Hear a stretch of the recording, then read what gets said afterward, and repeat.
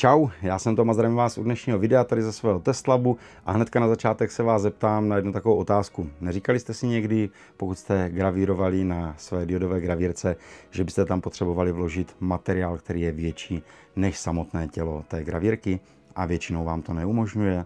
jak na to řezat, jak řezat třeba dvoumetrovou desku, nebo jak vůbec gravírovat takový veliký nějaký obraz a objekt, tak myslím si, že odpovědí by na tohle mohla být tahle diodová laserová gravírka Ortur F10 se 40W diodovou laserovou hlavou.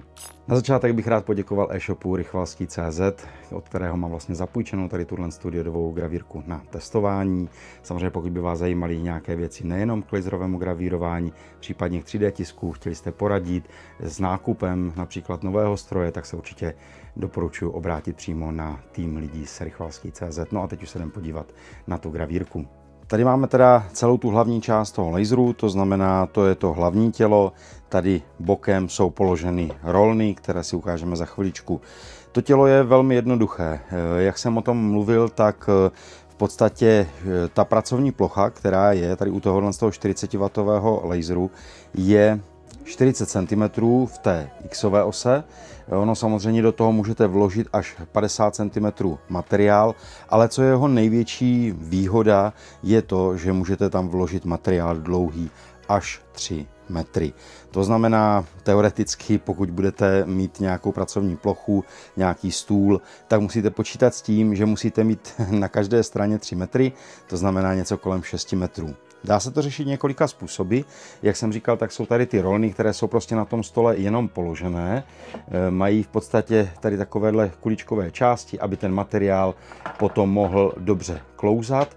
A v podstatě se to dá vyřešit tím způsobem, nemusíte si zhánět další tady tyhle tyhle ty rolny přímo od Orturu, ty vám postačí na nějaký, já si myslím, že 1,5, možná ideálně 2 metry prostě délky toho materiálu, jak vlevo, tak i vpravo. Ale pokud byste samozřejmě ten stůl měli menší, tak prostě na začátek a na konec toho stolu dáte klasický pachole, který znáte eh, prostě z, z třeba z dřevodílny.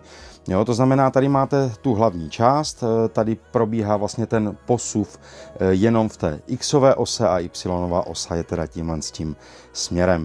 Rychlost fixové ose je 20 000 mm za minutu, má to Air Assist, to znamená tamhle je kompresurek, který teda není ovládaný, ale ono u tohohle z toho zařízení je potřeba počítat s tím, že to je opravdu specifický zařízení na de facto dlouhý texty, dlouhý gravírování, dlouhý řezání. To znamená materiál až 50 cm, jak jsem říkal, ale ta užitná plocha nebo pracovní plocha je těch centimetrů 40 za chviličku si ukážeme, jak to funguje ve skutečnosti, jak se s tím pracovalo, ale když vám ukážu vlastně jednoduchý princip, tak samozřejmě pokud ten materiál je menší, tak si prostě ty rolny posunete buď blíže k sobě, nebo samozřejmě tak, aby vám ten materiál co nejlépe seděl. Vezmete materiál, tady máte kolečka, které vlastně jsou tlačná dolů a tady na spodní straně jsou kolečka, která jsou ovládaná, vlastně dělají ten pohyb v ose Y. To znamená, já když tam budu chtít vložit nějaký takovýhle materiál, samozřejmě zarovnám, trošičku si s těmi rolnami nebo s těmi kolečky zajedu směrem dolů, a potom tady tím spodním kolečkem vlastně ten posuv můžu zajistit eh, manuálně. Tak, tím si ho navedu. Je důležitý dotáhnout, protože opravdu se může stát, že pokud by to nebylo dotažené dobře, já vám to ukážu, zkusím to povolit. Ono to teďka vidět úplně nebude,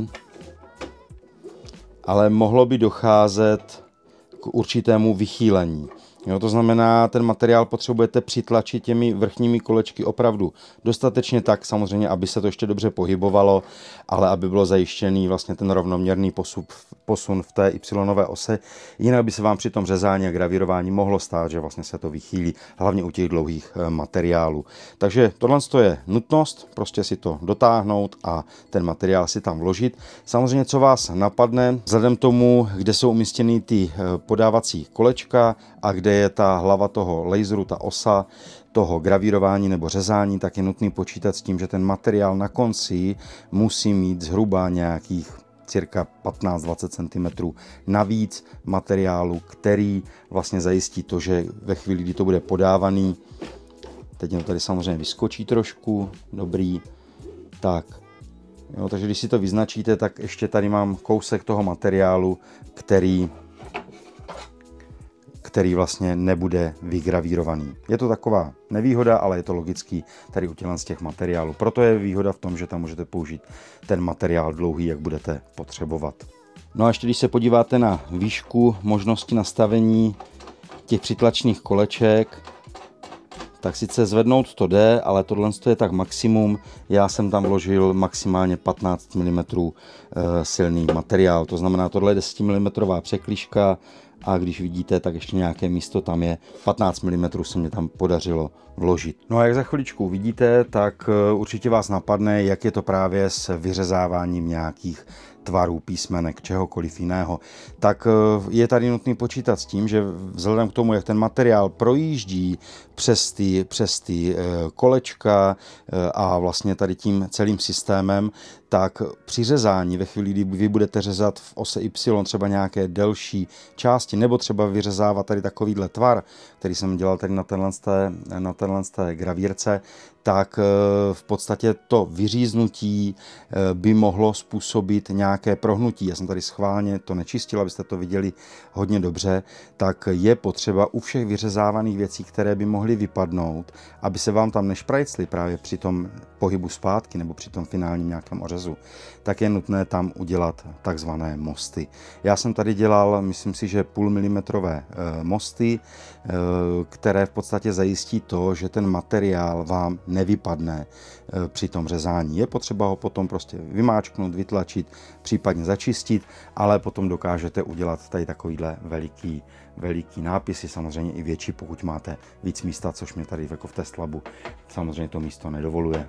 No a další věc, se kterou je nutné počítat, tak je to, že ta gravírka nemá žádný kryt. To znamená, potřebujete nosit ochranné brýle a taky samozřejmě při ocávání, toho ocávání nedosáhnete buchví a kvalitně. Šlo by to řešit, pokud byste měli jedno pracovní místo, kde by byla tato gravírka, tak tady vlastně po tu spodní část nebo tu část, kde ten laser řeže, jak si ukážeme za chviličku, která je tam taková ochrana, tak byste si museli udělat nějaký průduch a ze spodu vlastně tahat ten odtah toho dýmu směrem dolů, protože tady jinak nahoře vám to neumožní ten, ten, ta konstrukce. Řeknete, že to není problém, že byste si na to udělali nějaký kryt, ale ve chvíli, kdy řežete prostě nějakou metr a půl e, desku z akrylu, který je opravdu jako fakt eh, nevhodný být v té místnosti, tak eh, tam to pocítíte nejvíc a opravdu ten odtah z té spodní strany by byl mnohem lepší. A když jsem třeba dělal ty testy, tak opravdu to bylo, jako musel jsem větrat a musel jsem to ještě externě odsávat. Samozřejmě odsával jsem i celou tu místnost, není to vůbec nic příjemného. Ale co se týče využitelnosti té plochy, tak to je jako opravdu nevýdaný. Jak jsem říkal, maximálně 50 cm, 40 cm je vlastně ta využitelná plocha na šířku fose X, fose Y teda 3 metry. Máme tady celkem 6 podávacích koleček, to znamená pokud tam budete dávat nějaký uší materiál, tak si samozřejmě zvolíte to místo, kde je vlastně nejvíc jak těch přítlačných, tak těch podávacích koleček. Dá se to ovládat i manuálně, tady to postranit tím kolečkem a snižovat výšku a samozřejmě zvyšovat přítlak na ten samotný materiál, tady tímhle s tím kolečkem na vrchní straně. Na druhé straně, na straně výstupu, vlastně výjíždění toho materiálu, máte tady možnost si přidat ještě jednu druhou rolnu, která vám vlastně zajistí lepší, zajistí lepší stabilitu. Tady je pohyb v ose X, hlava se nastavuje ohnisko pomocí výjížděcího pinu, který je tady vlastně na spodní straně, pak zase hodíte zpátky, to znamená odjistím nastavená ohnisková vzdálenost, povolím dva šrouby, nastavím si to správně, dotáhnu a mám nastaveno, samozřejmě schovám ten trn. To jsme zvyklí, tohle není nic neobvyklého. Tady v téhle té spodní části probíhá vlastně ten řez, tady už vidíte pár těch eh, jako kdyby poškození, co jsem udělal při tom gravírování, není to nic velkého samozřejmě, ale v případě eh, většího řezání, většího nějakého eh, průřezu, ať už, je, ať už je to akryl, ať už je to dřevo nebo cokoliv, tak tady tohle je potřeba čistit. A tady na boční straně je zapínací tlačítko, Tady je anténa pro připojení k Wi-Fi, protože můžete tu gravírku ovládat a kompletně vytvářet ty projekty i v mobilním telefonu. To se potom připojíte na tu Wi-Fi. Tady už je připojení napájení, připojení USB, je tam USB-C, na druhé straně na tom kabelu je eh, USB-A. Tady máte připojení samotné té hlavy a jak jsem říkal, tak ten Air Assist není ovládaný a tady je v podstatě akorát hadička, která vede k tomu, k tomu kompresurku.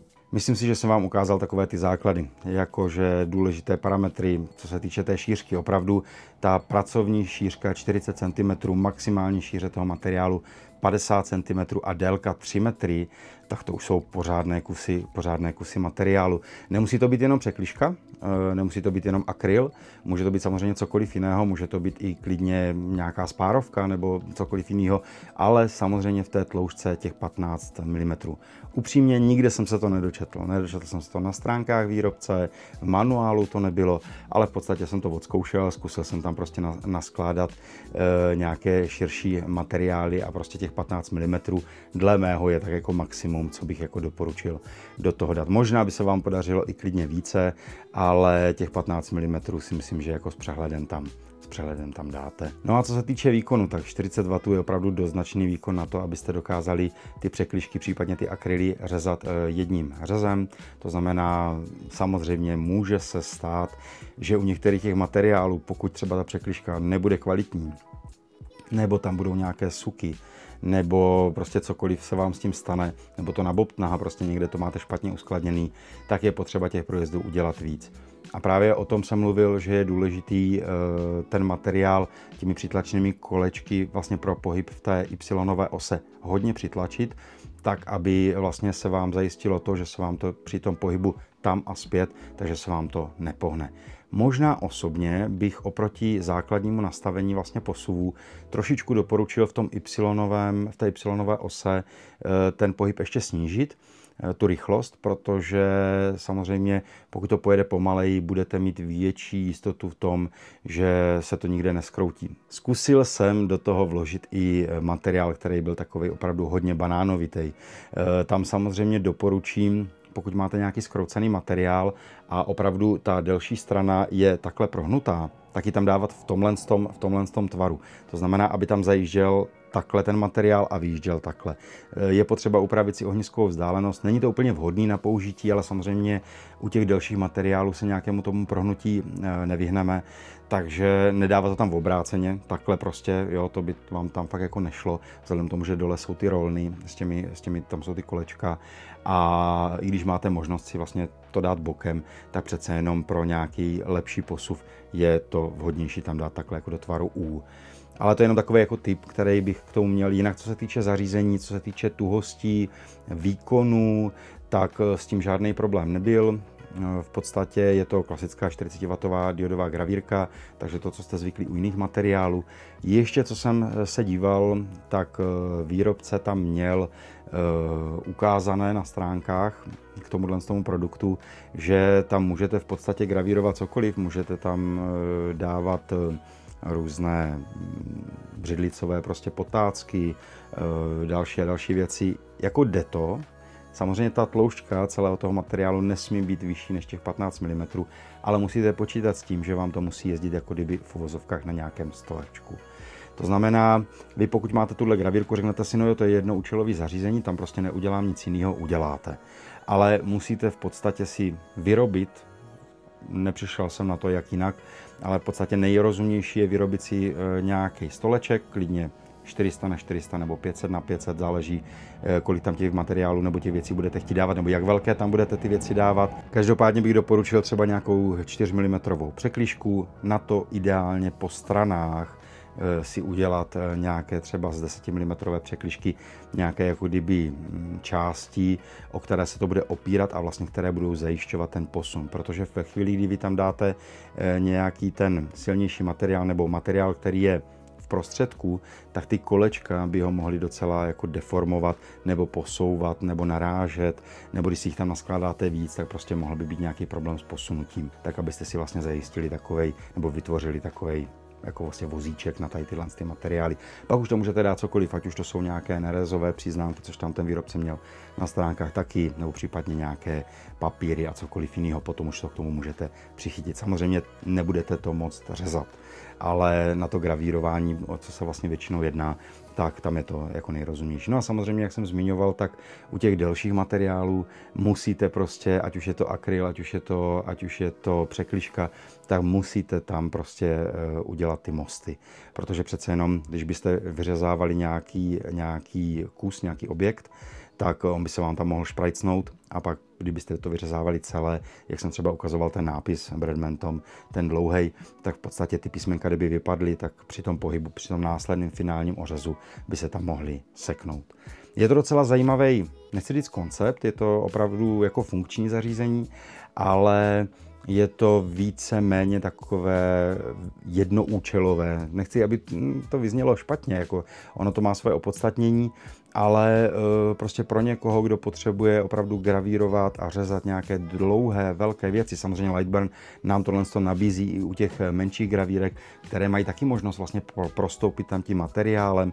Máte tam eh, na to i funkci, ukazovali jsme si to na Lightburn workshopu a tam vlastně máte možnost tady tohle to napojování, ale nemusí to být nikdy ještě dokonalý. Tohle je opravdu jednoduchý zařízení. Každopádně doporučuji podívat se na e-shop CZ, v případě, že třeba potřebujete potřebujete pomoc výběrem té diodové laserové gravírky nebo například 3D tiskárny, určitě doporučuji, a to fakt zmiňuji, už jsem to zmiňoval v minulém videu, kde jsme si ukazovali uh, jinou diodovou gravírku, tak uh, doporučuji tady tenhle ten univerzální čistič, mají ho tam na e-shopu taky, podíleli se na vývoji, takže já jsem z toho úplně nadšený. On to je čistič na 3D eh, tiskárny, ale já ho používám, psali univerzální, tak jsem to vyzkoušel opravdu na všechno. A čistil jsem s tím právě třeba stůl, tu gravírku ještě ne, ale čistil jsem třeba stůl po gravírování, kde opravdu toho dechtu a těch eh, nečistot bylo docela dost. Docela by mě zajímal váš názor na tady tuhle tu gravírku, protože přece jenom je to něco jiného, na co nejsme tak často zvyklí, je to jiná konstrukce, jiná práce s tím je a docela mě zajímalo, na co vy byste tady tohle tu gravírku využili. Mě napadly samozřejmě nějaké uh, takové ty metry, jak se lepí dětem na zeď a měří se jejich výška, případně nějaké obrovské nápisy, různé dekorace, ale nevím na co jiného. Samozřejmě dalo by se tam dát nějaká deska, část stolu, uh, samozřejmě ale nějakého tenčího, kde byste si udělali nějaké fakt velké gravírování, případně pro zalití uh, epoxidem, Napište mě, fakt mě to docela zajímá, na co přijdete vy, na co by se dala tahle gravírka využít. No a pokud byste se něco chtěli dozvědět o gravírování, případně naučit se pracovat s programem Lightburn, který já osobně vidím jako nejrozumnější řešení na ovládání těchto z těch diodových gravírek, samozřejmě u jiných značek bývají ještě proprietární softwary přímo od těch výrobců, ale pokud by vás zajímal, zajímal ten Lightburn, tak eh, na mém kanále, tady na YouTube, najdete workshopy, to znamená takové školení právě tady s tímhle s tím programem. Máme tam už přes 40, 40 eh, dílů a každopádně Každopádně jinak jednou za čas ve čtvrtek, vždycky je to tady oznámeno na tom kanále, buď na kartě komunita nebo na mém Instagramu, tak samozřejmě odebírejte i ten Instagram, tak je tam právě eh, vyhlášený to, že bude díl stream, ten živý stream, kde vlastně si to ukazujeme, je to dostupný pro všechny zdarma. V podstatě můžete se na to kdokoliv přijít podívat, akorát je potřeba přijít včas, protože to je živý stream. Tak jo, Mrkněte se na tady tuhle gravírku, doufám, že se vám to video líbilo. Každopádně mrkněte se na rychvalský.cz a na ty moje workshopy a já se s váma rád uvidím u dalšího videa, ať už tady z Teslabu, nebo z dílny, nebo u jakéhokoliv jiného. Mějte se hezky a nikdy zase čau. Jo a hlavně, ať se daří.